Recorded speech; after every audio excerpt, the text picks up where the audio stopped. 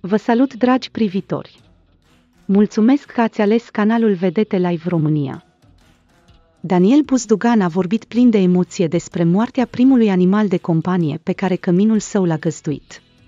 Este vorba despre o cățelușă adoptată de vedetă, care a părăsit această lume în primăvară. Mi-a murit o cățelușă maidaneză, primul cățel al familiei, o cățelușă luată de pe un șantier. Fetița a murit în primăvara asta și nu o să uit niciodată. Momentul în care am plecat la radio în dimineața respectivă o vedeam că suferă și se întindea spre mine. M-am întors de vreo trei ori ca să-i mulțumesc pentru toată dragostea pe care ne-a oferit-o cățelul respectiv. Și când am venit după emisiune, m-am întors acasă, am mai trăit un pic și a murit fetița, am dus-o și am îngropat-o, Adrian Artene, te-ai gândit vreodată să-L urmezi pe Hristos?